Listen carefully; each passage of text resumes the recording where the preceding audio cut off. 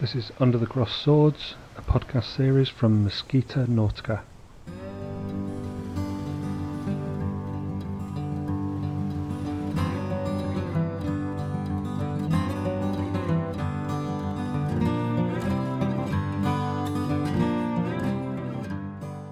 In this episode, we tell the first part of the story of Maurice Fricker, most commonly known as Biff, but also known in the service as Badge.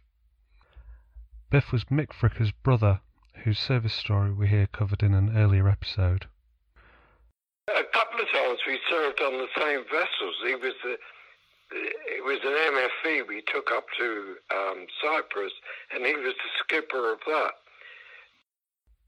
The brothers got on really well and served together on several occasions, but they were like chalk and cheese in terms of personality. Biff being very academic and straight in his approach to work and life, and Mick being a bit more of a lad and a risk taker, as both Mick and Biff's son, Dave, attest to. Well, he was one of these fellas who was as straight as a die. Never did anything wrong in his career, exemplary um, conduct, and all the rest of it. Biff's account is expectedly thorough and detailed, and was written whilst he was still alive with the assistance of Dave. We have divided the account into three parts. This part covers his early life and career. There is a short episode giving the full details of the infamous Armentières incident, and then part two covers the latter part of his water transport career. It has to be said that even these barely scratch the surface of Biff's fascinating career, but give a taster of one of the key characters who appears time and again throughout this series and in other people's stories.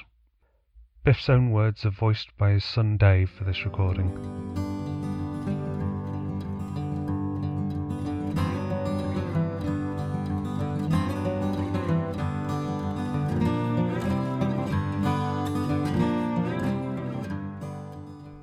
My father's childhood memories of the site of the then poverty stricken old Portsmouth area, with kids playing in the streets without shoes, also included the most truly unforgettable visit to the RMS Aquitania, combined with also re- witnessing the first scheduled passenger carrying voyage of the then brand new RMS Queen Mary. Subsequently, he was also to witness firsthand the beginning of the Blitz of Portsmouth. All these historical counters clearly leaving their respective indelible impressions upon him. In particular, Biff's earliest pre war recollections of the great liners are recounted as follows. My earliest memory of Queen Mary was in May 1936 when I was taken by my parents with my sister Pat from Portsmouth, where we lived, to Southampton, especially to see the great ship depart on a maiden voyage. She was due to sail to Cherbourg on that day, which I assume therefore must have been the 27th of May. This is an especially treasured memory, made all the more remarkable, as on the same day we also visited the RMS Aquitania for a full guided tour. The family had made the journey to Southampton by paddle steamer, and in the frenetic rush for everyone to secure the best initial view of the majestic Titan, meant that the huge mass of passengers had all crowded to one of the ship's sides, causing the paddler to list most alarmingly to that side. Olive, Biff's mother, only a slightly built lady, immediately rushed to the opposite side of the steamer in a totally vain but nonetheless comically memorable effort to offset the list. World War II came. Biff was evacuated to Enfield to stay with Uncle Bill and Aunt Grace.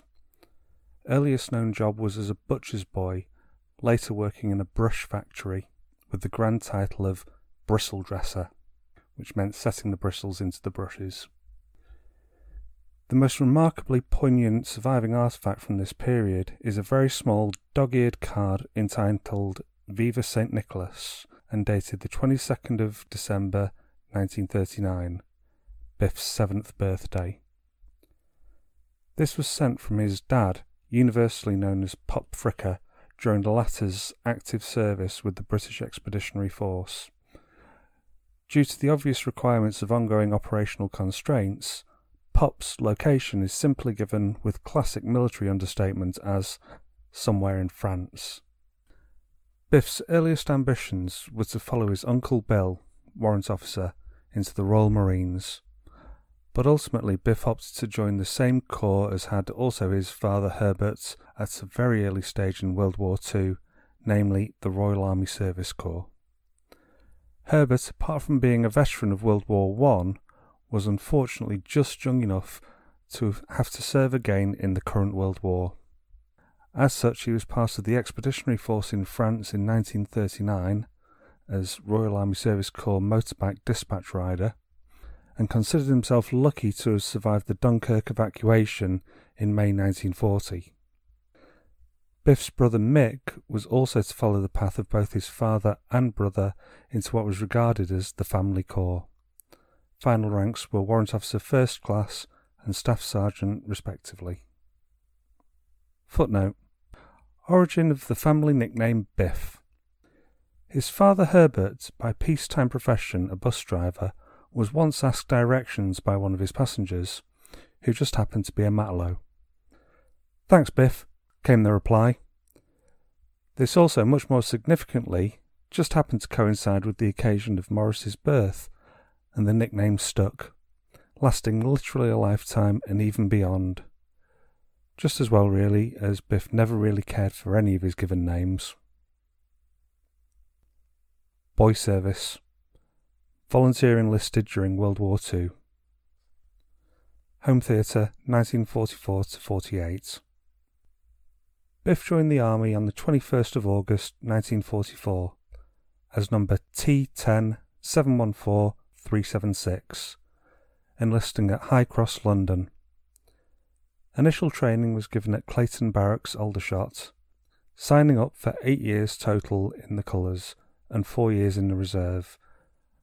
As only 14 years old, he entered boy service for a three year period, initially wearing the Dancing Dogs, the royal coat of arms of the General Service Corps. The vast majority of Biff's time as a boy soldier was spent within the auspices of Training Company, Boys RASC. The regime consisted of General Army training, followed by normal training in motor transport. This comprised three basic transport categories ambulance section, mostly Austins, cargo carrying vehicles, mainly Bedford's 1500 CWT and 3 tonners, staff car company, primarily Humbers. The boy soldiers were given both general education and also military training. 24th of May 1945, upgraded to Army Second Class Certificate of Education at Aldershot. During spring of 1945, Biff was sent to HM Gunwharf, Portsmouth, for his introduction into what was universally known as the War Department Fleet. Technically speaking, the War Department Fleet was purely the civilian crewed side of the Army's fleet, whereas the military crewed vessels would actually come under the heading of RASC water transport. Both branches of the service using a system of the vessels being allocated to numbered companies. Irrespective of the foregoing debates, both throughout and after his service float, for the record, Biff always used the generic term War Department Fleet to describe the army afloat, as it was undeniably easier, more succinct, and catchier than trying to spout the awkward mouthful RASCWT every time. Physical training was obviously very much an intimate part of the military training regime, including seemingly never ending long distance runs. The much hated physical training instructor was actually French, which obviously didn't help his popularity with the lads. He would incessantly bark, Punch hole in your guts, in his thick accent, to further chide the poor unfortunate trainees. But notwithstanding the excessive rigours of this most punishing regime, Biff's stature grew many inches in height during this period, and he was, although admittedly much later, actually quite grateful for this considerable physical development. Far more pleasant training was the initiation into HM Gunwharf Portsmouth, from which a subsequent lifelong association would always endure. Biff recalled at least one war impressed WD trawler alongside the Gunwharf during his first most memorable World War II visit. Biff was actually to be embarked in RASC Benson, a former Fairmile B War Office ambulance launch, which by that stage was employed as a training ship. She was attached to 615 Company and manned by a military crew. Benson was the former Royal Navy motor launch 908, and she had only just been handed over to the Army that May and was built by James Taylor of Chertsey. These Fairmile type launches were examples of a generic type of which many hundreds had been built, literally worldwide, from prefabricated kits. The military ambulance launches were given a large extra deck house aft, intended to accommodate stretcher cases, as they had been conceived to serve in the planned invasion of Japan. The dropping of the first atomic bombs to end that campaign would ensure that the WOALs never actually saw the Far East service for which they had originally been intended. Although ultimately Benson would end up in the Middle East, as did many of her sisters, it is worth noting that Biff's brother, Mick, actually served in her sister, Shepperton. All these motor launches having been named after locks on the River Thames. Sometime later, Biff would be locally reunited with Benson but only after her withdrawal from active water transport service. The RASC boy soldier recruits were all given four basic categories of induction training in order that it could be determined which suited them best, or was even perhaps more to their liking. The first of the four training details took place at the 19th century Palmerston Fortress, Fort Victoria at Yarmouth on the Isle of Wight. Here was afforded the opportunity for hands on experience of a wide variety of army vessels, some still defensively equipped, as the war was still very much in progress and the locale was obviously an actively operational area. Many vessels were to be seen alongside Victoria Pier.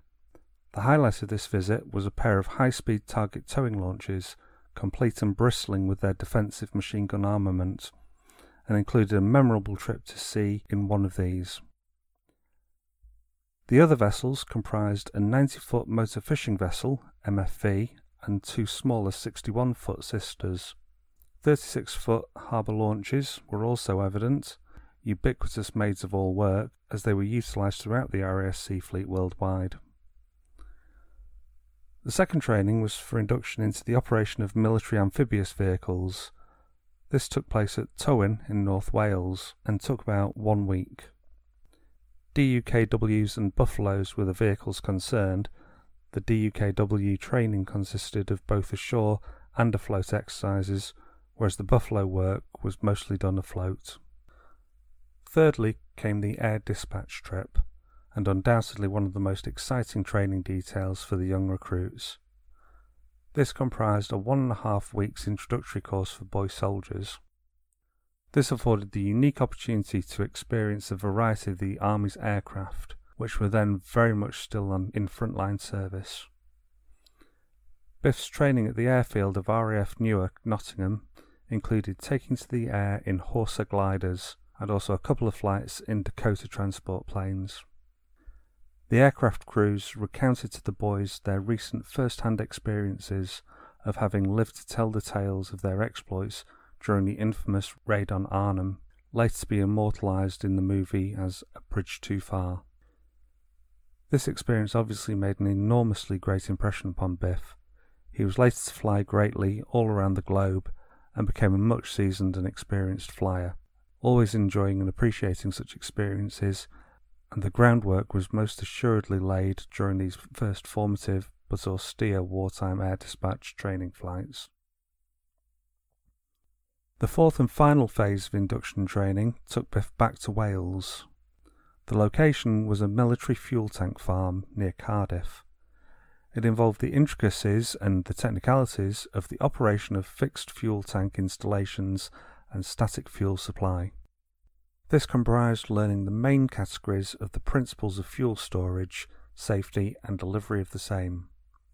Whilst obviously vital to the running of any worldwide support infrastructure, in general the term logistics being still a long way from being coined. and to the ongoing war effort in particular, this last training stint cannot have failed to have registered as comparatively dull next to the previous exciting exploits on sea, land, and in the air. Needless to say, Biff did not opt for an army career in fixed fuel tank installations. With the thoughts of Biff's enjoyable visit to his first ever army vessel, dear Benson, still very much uppermost in his mind, the first option was naturally chosen. The platoon officer was therefore informed of the decision of which category of service Bill had opted to train for. This necessitated a move to Buller Barracks, the classroom used had been converted to a water transport training section. It had its own WT instructor, Corporal William Hatton, with whom began a personal association with Bill that was to enjoy both throughout and even after the course of his career. One particular boy service tale may be related here. It occurred when Biff was then a boy sergeant and had to be temporarily billeted. He was finally quartered in the regular sergeant's mess, much to the complaints and consternation of the other ranks regulars. But any complaints and sour grapes were utterly to no avail. The chevrons were deemed, and indeed actually did, decide the matter entirely, irrespective of the recipient's age. At the war's end, several notable sights presented themselves and are eminently worthy of inclusion at this juncture. One recollection in general being that the apparently limitless lines of defunct surplus World War II naval tank landing ships, LSTs, laid up abreast, lining the shores of the Tipner Lake foreshore and stretching far into the distance. Whilst in terms of venerable naval war horses in particular, the imposing sight of the redundant HMS Warspite laid up at the Solent capital ship mooring buoys was a truly unforgettable one. Biff specifically recalled seeing her still complete with her conspicuous and characteristic Admiral's Walk at the stern, the last such survivor in the Navy. Isle of Wight. At age seventeen and a half, in the summer of 1946, Biff was to be posted to the distinctively hexagonal Golden Hill Fort at Freshwater, Isle of Wight. Biff was due to have immediately begun the water transport training course. However, unfortunately, he was late on joining, the current course having already started. Hence, Biff was to serve very briefly as a regimental policeman, thereby adding a further category of experience to his fledgling military career.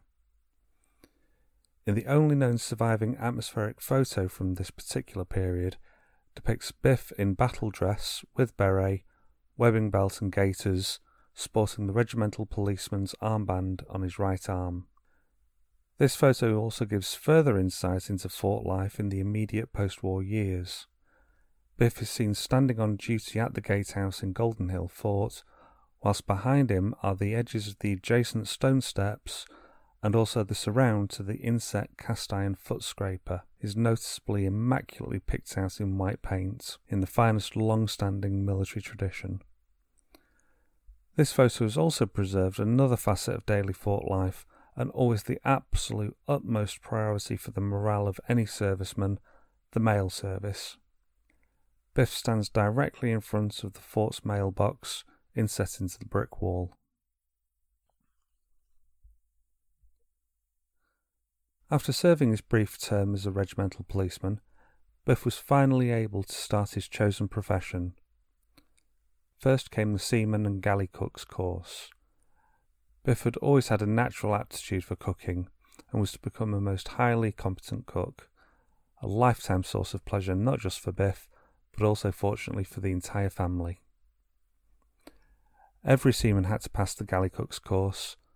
The training was on the primary fuel of the time, the coal fired galley stove. This training was done at the Gallicook School, which was specifically equipped with an installation comprising of a half dozen cookers. As with so many water transport trainees, Biff cut his boat handling teeth on board the Barracks Lines class General Service launch RASCV Corunna. A couple of other craft were also allocated for this purpose.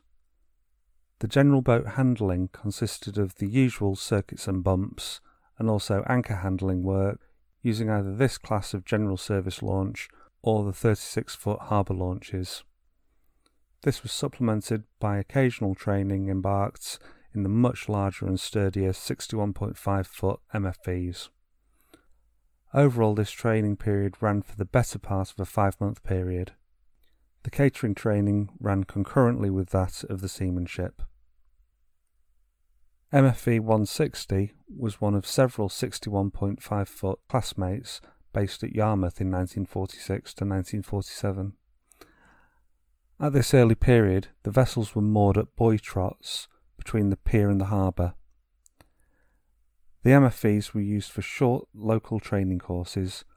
Classes of soldiers under training would report to Fort Victoria and take a dinghy to pick up the allocated vessel. By 1950 51, it was believed that 160 was actually the last survivor of her length operating here, when by that stage the vessels were moored within the harbour itself at the first trot.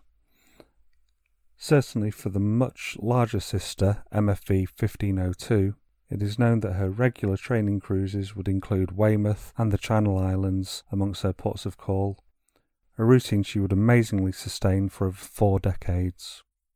The most distinctive vessel which was recalled being served in at this period was Minka 35, as she, like Arctic 2, which was to replace her some years later, formed such a uniquely significant part of the background to the water transport scene. The Minka barge, or just the Minka, as she was generally known, was such a massive, totally timber construction that she could not failed to impress those who had been billeted in her by the sheer wonder of her magnificent solid construction. Apart from colossal solid timber build, about the only other fact of her career which was then generally appreciated by her crew was her Canadian origins. Only nearly sixty years later was she finally to give up some further secrets of her type and significance to the war effort as a whole, which the Minka barges represented because originally these Stirling craft had once been part of the vital amphibious invasion fleet, there being both powered and dumb versions. Biff recalled her in service in situ as late as 1948, but by the time of his return in 1955 to take over in charge of the barge, Minka had already been replaced by Arctic II, yet another Noah's Ark look-alike. Another enduring memory of Yarmouth were the RASC's military oil barges.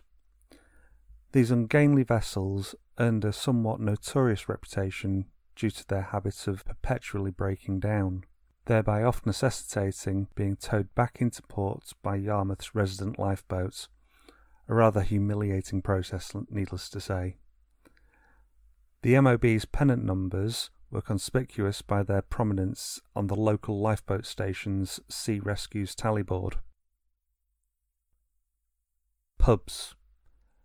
These have been quite uncharacteristically totally omitted from this narrative of service life thus far, so will be rectified forthwith. In terms of Yarmouth, the RASC military boats crews mainly used the beautiful and historic Bugle Inn. Biff was to revisit this old haunt many times in later years. An exhaustive listing of the pubs frequented by the Army's fleet would no doubt make interesting reading in its own right. Sadly, no such publication is known to exist.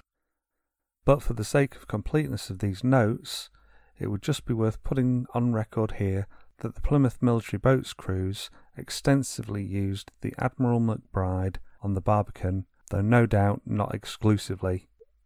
For liquid refreshment for crews based at HM Gunwharf, Portsmouth, first hand testimony identifies the Eagle, adjacent to St George's Square, and the Seagull, near the Camber Docks, as among the official haunts of civilian and military crews, respectively. The Horseshoe, adjacent to the roundabout in Old Portsmouth, was yet another regular haunt recalled in the memories of soldier sailors of the old Army fleet. Sadly, the latter pub no longer exists, but at least the name is perpetuated by the block of flats which replaced it on site. On the 6th of December 1947, the following entry was penned into Biff's record and pay book. Passed Waterman, 985 Company RASC Class D3. Additionally, on Biff's 18th birthday, the 22nd of December 1947, he was granted one star pay. The waterman's qualification signified that the holder was fully entitled and qualified to serve in the capacity of seaman on board a Royal Army Service Corps vessel. The craft concerned was to be Sykes, a practically brand new Dickens class general service launch of the Series 2. The boat herself had only just been completed and taken on charge during the course of late July of the previous year. Sykes was then based at Yarmouth, serving as a training ship. For these training details, Sykes would operate daily from Victoria Pier.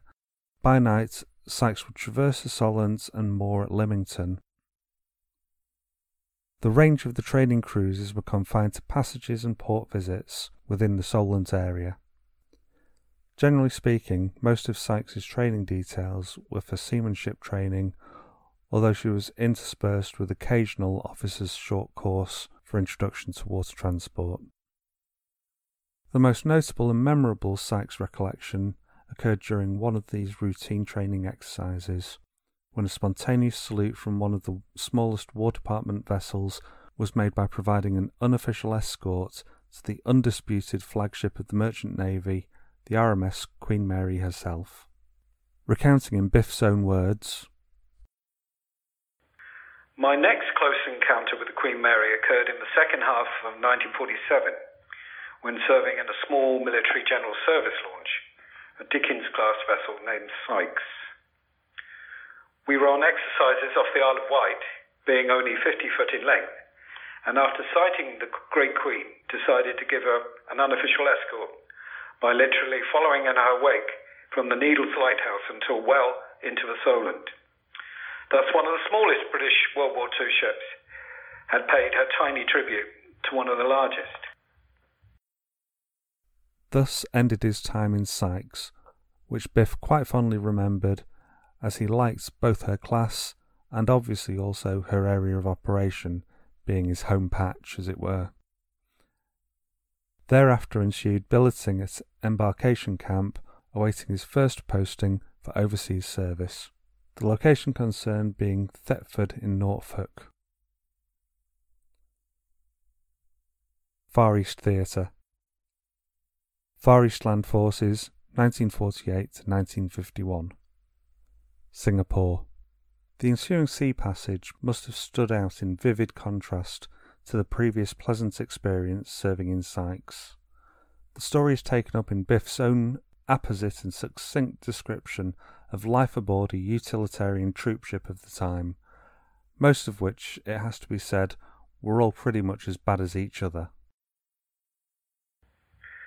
13th March 1948. Sail for Singapore in HMT Lancashire from Liverpool. Disgusting, cramped, insanitary, uncomfortable. Food disgusting. Top bunk, out and back. Empire Orwell. Four weeks passage, steaming 13 to 14 knots. As with all experiences, whether good or bad, and this was most definitely of the latter category, finally the voyage came to an end. The old trooper had sailed by way of Suez, the first of many future visits, Aden, and Colombo. On arrival at Singapore, there was no time to acclimatise to the prevailing sweltering tropical conditions. Biff had to report to the Nee Soon Transit Camp on Singapore Island. This was a single water transport draft, but as Biff was, had already experienced at joining Golden Hill Fort, the timing of initial joining instructions was not always choreographed with perfection. The RASC's original intention was for Biff to join the sleek Thornycroft high speed target towing launch Armentières, but on arrival, Biff was to discover that she was out of action due to a variety of problems, primarily her main engines. On going ashore, Badge, as Biff was always known in the service due to having started army life as a boy soldier, was to bump into a very familiar face namely Bill Hatton, his old water transport instructor in boys' service. Bill was by then a warrant officer second class, master of a Mark IV tank landing craft, namely LCT 1060. After exchanging pleasantries and bringing their respective stories up to date, Bill asked Biff whether he would like to join his LCT. Clearly, Biff needed no further encouragement as he joined LCT 1060 immediately. This obviously represented a colossal step up in terms of both tonnage and complexity in ship handling compared with those hitherto experienced. So far, Biff had served in the following types Harbour Launch, Barracks Lines General Service Launch, Dickens General Service Launch, and both standard types of motor fishing vessel utilised at Yarmouth, namely the 61.5 and 90 footers. He had also experienced brief encounters with the pedigreed Fairmile 112 foot motor launch and the smaller high speed target towing launch. But the Mark IV LCT was a much different kettle of fish from those smaller all wooden vessels. Heavy, steel, and flat bottomed, they displaced nearly 600 tons at full load and measuring just shy of 190 feet overall length. This was the naval amphibious maid of all work which had so recently performed such an outstandingly sterling war role both at D Day and in the Mediterranean. Indeed, all the RASC Mark IVs based at Singapore had only fairly recently been transferred from the Royal Navy, most of them having seen a wide variety of action and exploits in the Mediterranean under the White Ensign. After being declared surplus from the Navy, the War Office found these LCTs extremely gainful further service both at home and abroad. These Far East Mark IVs were to prove the longest lived of all the Army's war served LCT tonnage, their role finally being transferred to the ultimate evolution of the type, namely the even larger Mark 8. The very same LCT 4s which both Biff and later his brother Mick were to serve in were quite remarkably still actively seagoing well into the 1960s. The change of direction in Biff's career away from the smaller vessels was eventually to herald quite rapid advancement through the ranks and qualification grades, as it was not long after joining 1060 that Biff was actually to be promoted to mate. Much personal training ensued, and this was marked by a subsequent draft change to LCT 742, one of 1060's sisters, a vessel for which Biff had a particular soft spot. For example, he always recalled with fondness her distinctive green and siley weir builder's plate, which she still proudly carried on board.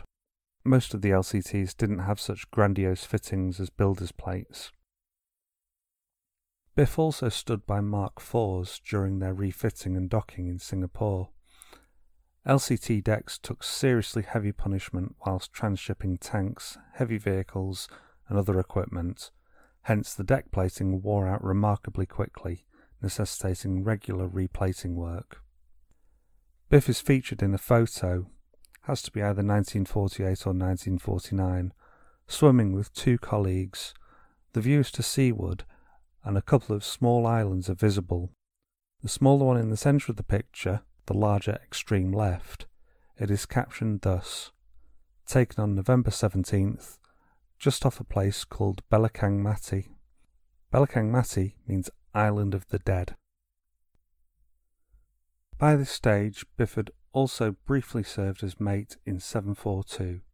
What Biff's living conditions serving on such World War II vintage, non air conditioned tonnage leave absolutely nothing to the imagination in particular the loss of the poor unfortunate ship's engineers, both in terms of humidity and noise, is practically beyond both imagination and sheer human endurance. Even in the 1980s, the so called Bukom factor still persisted. In other words, the island's interminable plague unaccountable technical problems and consecutive excessive cargo handling delays not to mention the also literally overpowering stench of both black, heavy, and white, light fraction oils. LCT 742 has a most distinguished claim to fame as she was one of only a handful, actually only six, LCTs to be depicted in the Southampton D Day embroidery. The latter was originated by LCM Sandal, designed by Katrina M. Christison, and embroidered by Southampton Women's Guild. Unfortunately, 742 never actually took part in the Normandy landings herself, so the reason why her number should have been chosen to be immortalised in the famed embroidery remains obscure. Notwithstanding the foregoing, the whole of the famous War Department trio, namely 742, 1060, and 1111, certainly did see Royal Navy active service in World War II, actually in the Malayan Theatre in 1944 as part of two assault convoys totaling 48 LCTs, which sailed from Mandapam 29th to 30th of August to arrive at the Morib beachhead 9th of September 1944. One absolutely priceless LCT dit has to be recalled here. One of these War Department LCT 4s had been tasked with cargo transshipment from alongside an Alfred Holt Blue Funnel, Blue Flue line freighter. As the LCT came alongside, the rather imperious deck officer on watch had actually the temerity to condescendingly refer to the LCT as a mere barge.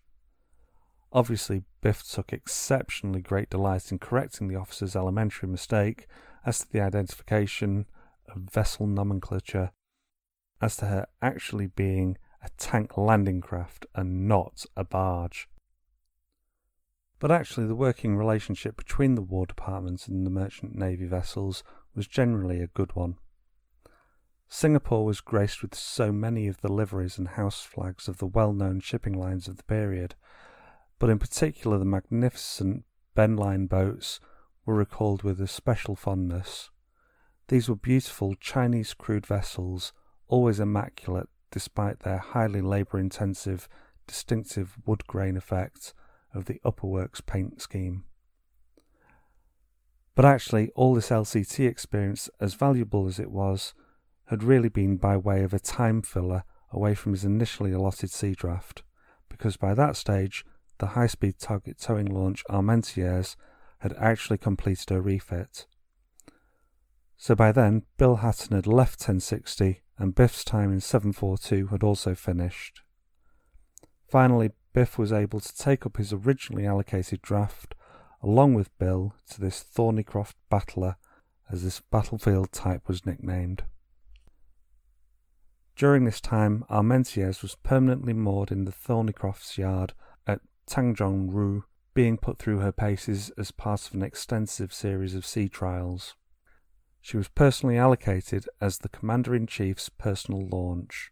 As such, Armentières was always most beautifully bulled up, her towing winch having been removed for this role, her brass work being immaculately polished at all times. Bill Hatton had been promoted to Warrant Officer First Class as Master, whilst Biff was serving as Mate. Eventually, her persistent mechanical problems were finally solved and the launch was deemed fit to return to the service of the Commander in Chief. During the week, the General's senior staff were embarked aboard a proving run to the island of Bali within the Dutch East Indies in the Malacca Strait. As a result of this proving run, the launch was considered fully satisfactory, hence, the crew of the Armentières prepared for her forthcoming voyage, which was to embark the General on the following Sunday early on what was to ultimately prove to be a particularly fateful Sunday morning, Armentières slipped her moorings at Tanjong. En route, she struck the submerged wreck of a Dutch liner which had been sunk in the early part of the war. The impact completely wrote off the propellers and rudders of the once thoroughbred target tower, now rendered lifeless, and the battler was quite literally battling to stay afloat herself. The International Code Flag Group November Charlie was promptly hoisted to indicate to all vessels in the vicinity that she was indeed, quite literally, a vessel in immediate distress. To cut a very long story short, Armentières was fortunately eventually recovered, having been towed and supported between the two LCTs 1060 and 1111. She was then beached stern first at Pulau Brani. Eventually, she would receive a major refit to restore her back to seagoing condition, only to survive subsequent close shaves when on target towing duties. She was straddled with shells fired by the range ashore, which narrowly missed exploding her high octane fuel tanks. The fully unexpurged version of this very famous incident is recounted at length in the podcast of this series entitled The Armentières Incident. At this juncture, several further vessels should be added to the record, as they were also very much part of Biff's Singapore scene at the time. The first of these is the 90 foot motor fishing vessel 1514. She was 1502's sister, which had been earlier encountered at Yarmouth, Isle of Wight. By Biff's time in Singapore, she had already been withdrawn from army service and was therefore laid up.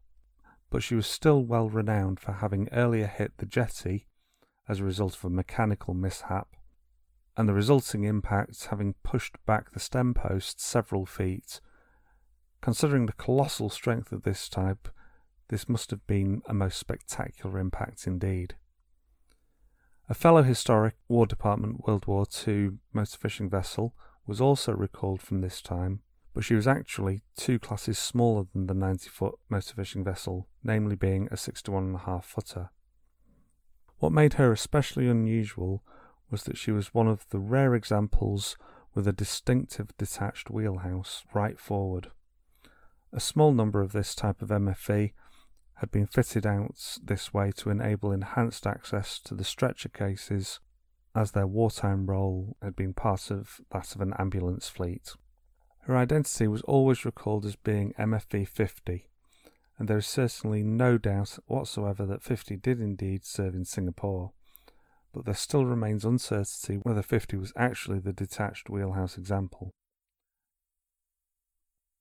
Malaya after the target tower, Biff was transferred back to LCT 1111, initially as mate, subsequently receiving his first command of an LCT on board this vessel. 1111 was employed on the particularly hazardous and also very hard manual work of ammunition dumping around the south and east coasts of Malaya, but she also performed in her designed amphibious frontline task of making beach landings. It was in these two roles that she was to serve during the Malayan emergency. In the course of supporting the latter, she worked along the east coast of Malaya, primarily Johor State, but also a couple of others.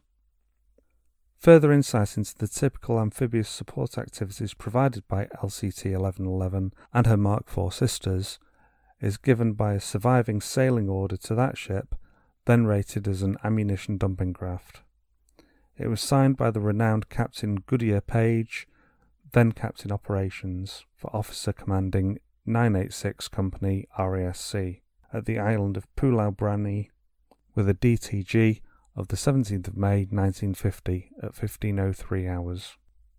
The address reveals that 1111 was under sailing orders to beach at Belia Creek at 1000 hours the following day.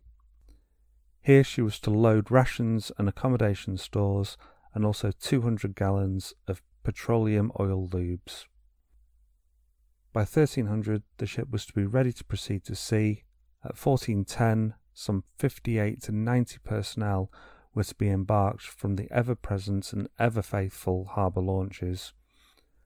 Departure time was set for 1600, thence for the ship to proceed to a position three miles south of Mersing the ETA being given at 0700 hours, 19th of May 1950.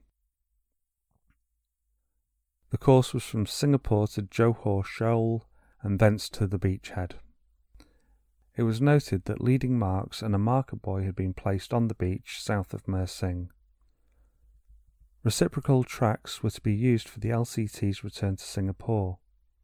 It was further advised that in the event of adverse weather conditions, the master should use his discretion as to taking shelter. Jason Bay was identified as being the only suitable sheltering water available on the northbound course. Liaison between 1111's master and the senior officer president was encouraged to enable the highest possible degree of comfort for the troops embarked.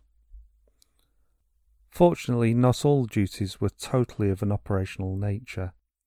Less arduous tasks, including showing the flag by the ADC's participation in Navy Weeks, along with such notable vessels such as the Yangtze incident, veteran frigate HMS Amethyst, and also fellow former LCT MRC maintenance repair craft 1401, formerly LCT 341, which had been converted with conspicuous bow horns to help facilitate her useful role.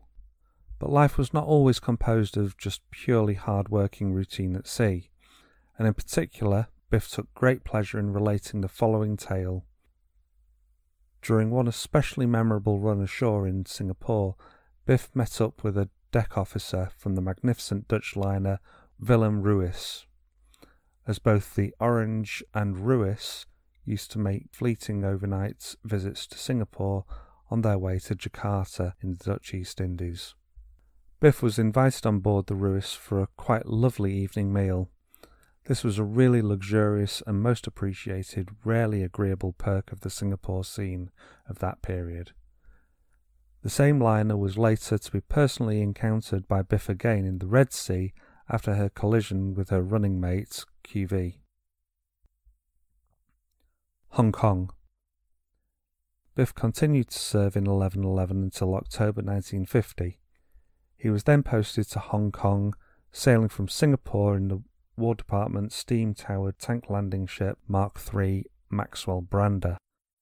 Upon arrival, Biff joined 1874 Water Transport Platoon.